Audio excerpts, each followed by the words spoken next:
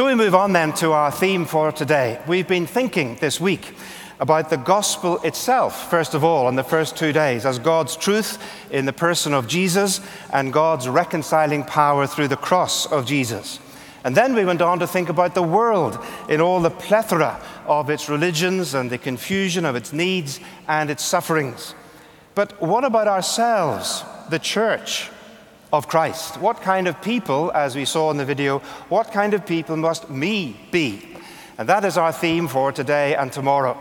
And I want to thank all of those who responded through the global conversation and on the website with your comments uh, to what was put into the global conversation on this topic. Uh, they were very interesting and helpful to me as I prepared. And of course, I want to say thank you to our brother Calisto for his marvelous, powerful exposition of God's Word just a few minutes ago. Yes, indeed. Now, in our opening ceremony, do you remember that back last Sunday? It seems an awful long time ago now. Uh, we stepped right back to Pentecost.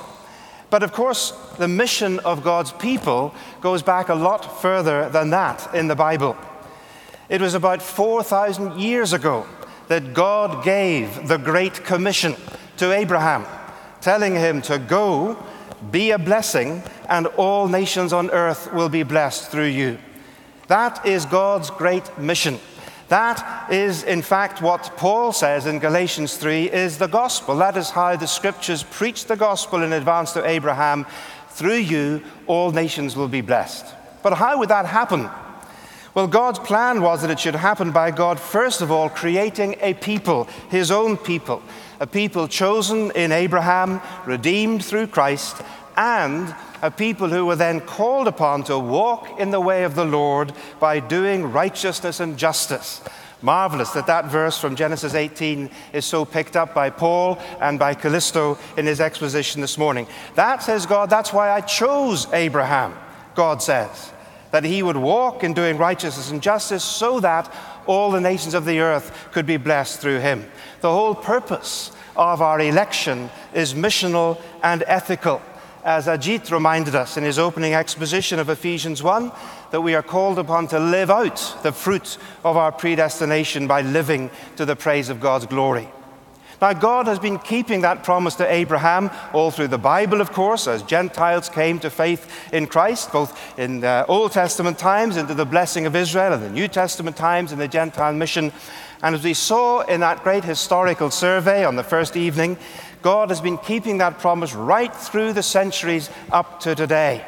That's God's great mission to bring the nations of the world into the blessing of Abraham through our Lord Jesus Christ. But there were many obstacles to God's mission in the Bible and ever since. Many things that keep frustrating and hindering that great, loving, saving mission of God. And we've been thinking about many of them here this week already.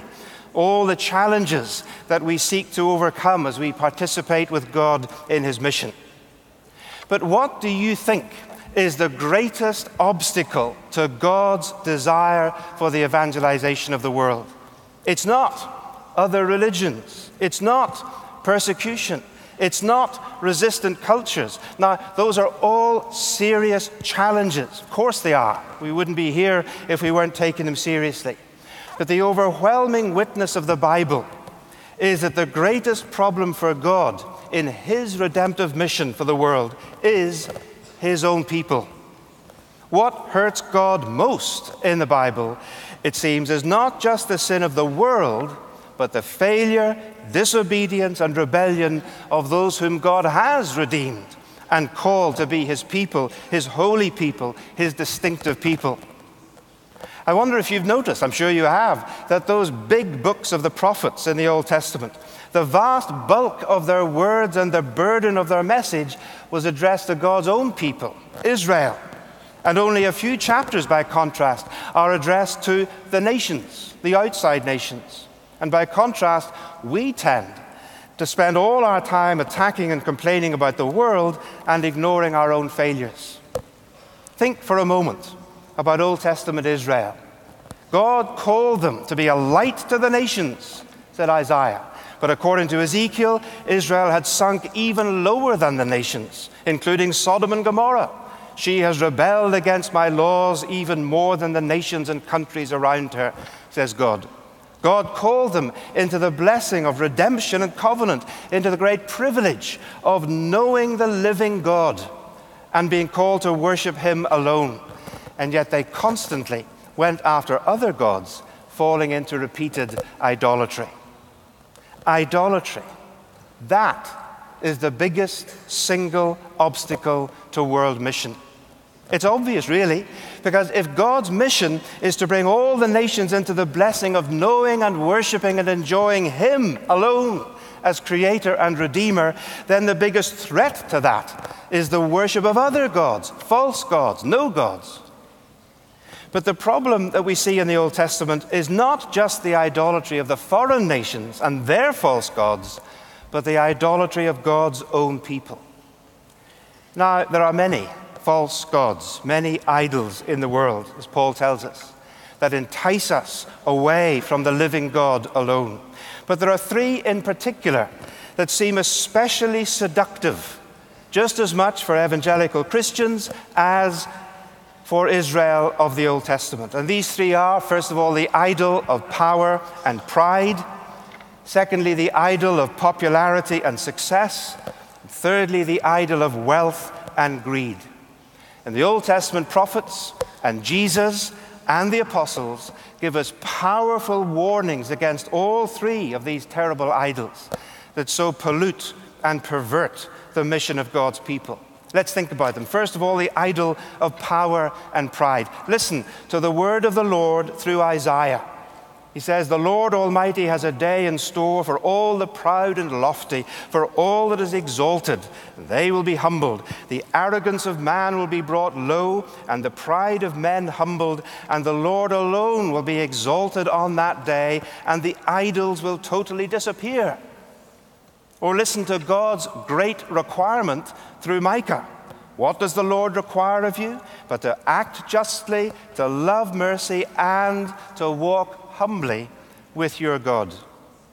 Listen to the Lord Jesus Christ himself. Jesus said to them, The kings of the Gentiles lord it over them. That's what it's like in the world. But you are not to be like that. Instead, the greatest among you should be like the youngest, and the one who rules like the one who serves, because I am among you, said Jesus, as the one who serves. And as we saw in our Bible exposition yesterday, when Paul talks about the life that is worthy of our calling of the gospel, the very first thing he says in Ephesians 4 is Be completely humble and gentle, be patient, bearing with one another in love. Sisters and brothers, to be obsessed, even to be concerned at all about status, office, power, in the Christian church and in Christian work is sheer disobedience to Christ and to the Bible.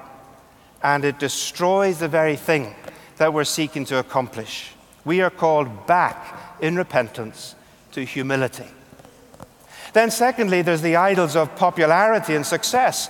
And these are the idols that lead us into manipulation and dishonesty and distortion and exaggeration like the false prophets of the Old Testament, false prophets who were claiming to speak the word of God, but were really acting in their own self interest and were claiming to be men of God, but were just giving the people whatever they wanted to hear or see at the time. They were popular, they were successful, of course they were, but they were false prophets in the grip of a false God. Listen to the word of God again through Jeremiah. From the least to the greatest of them, all are greedy for gain. Prophets and priests alike practice deceit.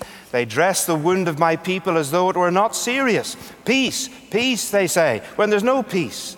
Are they not ashamed of their loathsome conduct? No, they've got no shame at all. They don't even know how to blush. You don't need to feel ashamed.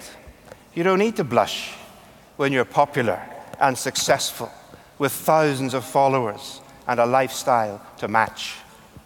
And even in the early church, in all its mission, Paul warned those who, he said, peddled, sold the word of God for profit, those who used deception and distortion, he said. The church, of course, as we read in Corinth, was dazzled by these super apostles, as Paul called them, who were boasting of their credentials and their impressive speaking and their great popularity. They were the kind of successful leaders that the church in Corinth wanted to boost their own image in the world of Corinth. But Paul says, such men are false apostles, deceitful workmen, masquerading as apostles of Christ. And no wonder, Paul goes on, for Satan himself masquerades as an angel of light. It's not surprising, then, he says, if Satan's servants masquerade as servants of righteousness, but their end will be what their actions deserve. Sisters and brothers, we cannot build the kingdom of God, the God of truth, on foundations of dishonesty. Telling lies about our success, or accepting what we know to be questionable statistics in order to get or to grant funding for our projects is nothing short of bowing down to the idolatry of manipulated success. We are called, we are called in repentance to humility and integrity.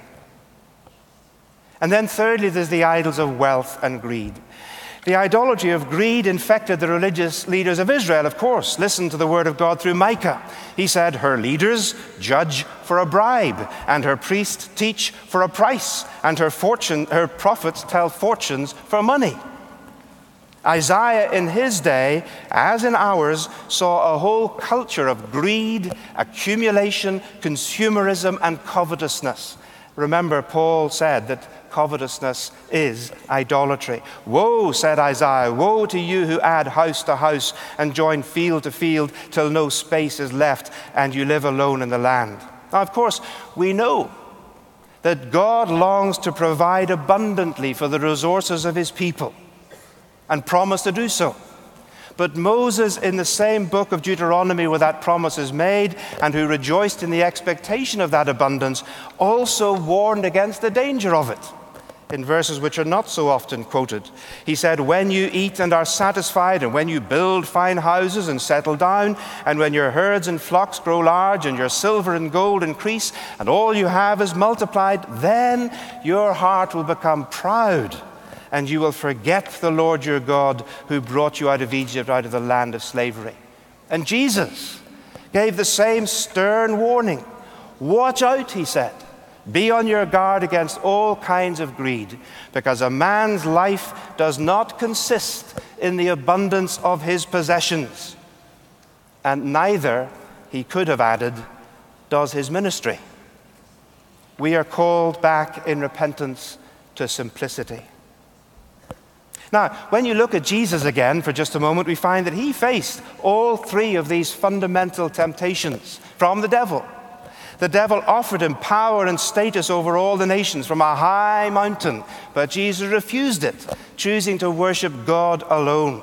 Jesus chose the path of humility.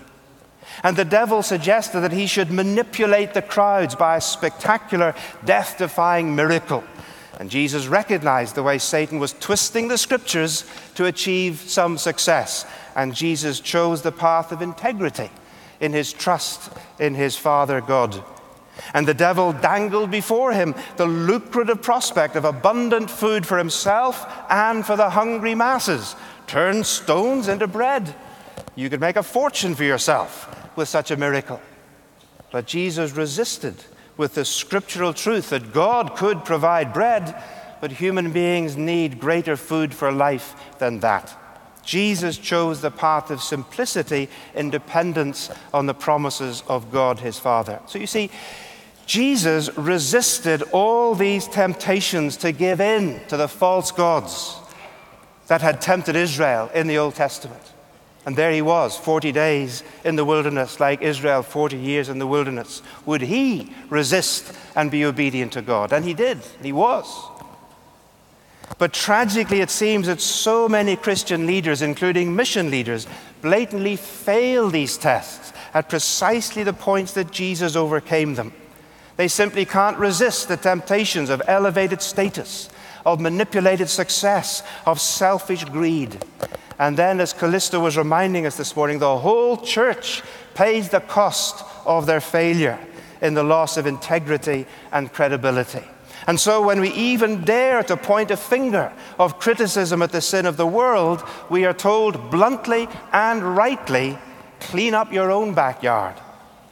We are, in short, a scandal, a stumbling block to the mission of God. On that same opening night, in our wonderful celebration, we saw the great story of the Reformation in Europe. Why was that needed? Well, you go back to pre Reformation medieval church in Europe, and you will see these same three idols masquerading through the corrupt ecclesiastical system at that time. There were powerful prince bishops wielding enormous wealth and power. There were shrines and saints that were popular and successful for church income. There were people making their fortune from selling indulgences and exploiting the poor with promises of good things in the life to come. And meanwhile, the ordinary people lived in ignorance of the Bible, which wasn't available in their language and wasn't being preached from their pulpits. And reformation was the desperate need of the hour. Surely, the same desperate need is with us now. And I dare to propose that it needs to begin in the worldwide evangelical community. For there are parts, there are parts of the evangelical church today where these same three idols are being submitted to. There are self appointed super apostles and mighty elevated leaders, unaccountable to anybody else, popular with thousands of followers, lording it over the flock of Christ, unconcerned for the weak and poor, showing none of the marks of the Apostle Paul that he talks about, and with no resemblance to the crucified Christ. That's the idolatry of pride and power. And there is a craze for success and for results and obsession with statistics and outcomes, sometimes leading to wild claims and unsubstantiated numbers and untrue reports and blatant manipulation and collusion in falsehood. That's the idolatry of success. And then there's the so called prosperity gospel. Now, of course, we affirm what the Bible says about God's blessing and about the power of God's Spirit and the victory of God over all that crushes and curses human life. But, as Femi will be telling us very soon, Many promoters of this teaching distort the Bible, if they use it at all, appeal to human greed, and have no place for the Bible's teaching on suffering and taking up the cross. They succeed only in enriching themselves in a lifestyle that is utterly contrary to the teaching and example of Christ, the idolatry of greed. And meanwhile, as in the pre Reformation church, the ordinary people of God in so many churches live in ignorance of the Bible with pastors who neither know it themselves or are not willing or equipped to preach it and teach it to their people. Reformation is once again the desperate need of our day, and it needs to start with us. What then must we do? Finally, we need a radical return to the Lord. We need to hear the prophetic word of God from the prophets from the Lord Jesus Christ, from the apostles of the New Testament. Repent and believe the gospel. And remember, Jesus preached that message, made that command repent and believe the gospel, not to pagan unbelievers, Gentile outsiders, people of other faiths, but to those who already claim to be the people of God.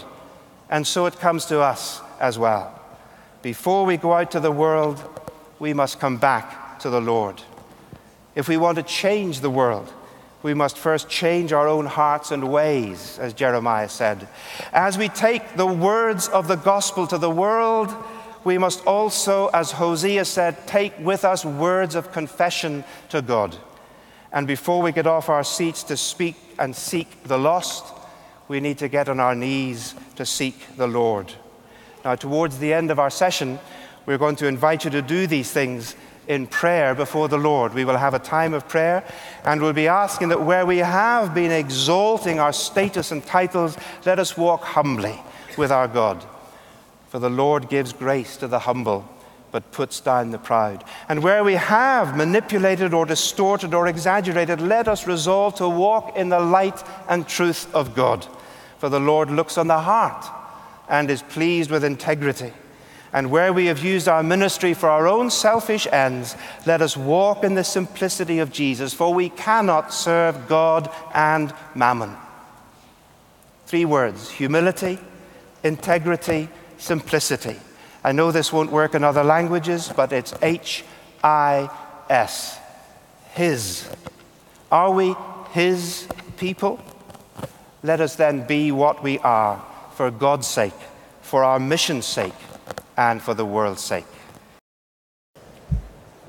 How can we draw together some of the threads of what we've been thinking about and what you've been discussing for the last few minutes? Again and again this week, it seems to us, the message has been heard that our mission demands that the church itself must be an authentic model of what it preaches, that the church must demonstrate a community of reconciled love and unity. And that's not surprising, is it? Because after all, that's what Jesus told us repeatedly, four times in his last great conversation with his disciples before his death. In John's Gospel, love one another, he said. That's my last command to you. And we've been hearing it again from Paul in Ephesians. But all three of these idolatries that we've been thinking about this morning operate to destroy that unity. In fact, I would suggest that the primary cause of our disunity and our fragmentation is our obsession with these three things. People who build and defend their own status and power are not going to unite in humility with others. And people who've got no integrity in what they do or say can't be trusted to do the costly work of transparency and accountability and unity. And people who are motivated by selfishness will see other Christian ministries as competition. And so you see, humility, integrity, and simplicity are also signposts to unity the unity that is a precondition of our mission according to Jesus in both his command and his prayer. Again and again this week, we've been hearing, discerning this double challenge coming through of the need for radical, obedient discipleship, leading to maturity, of growth in depth as well as in numbers, and of the need of radical, cross centered reconciliation, leading to unity, to growth in love as well as in faith and hope. And both of these things were the command of Jesus and his apostles, and both of them are indispensable to our mission. There is no biblical mission without biblical living.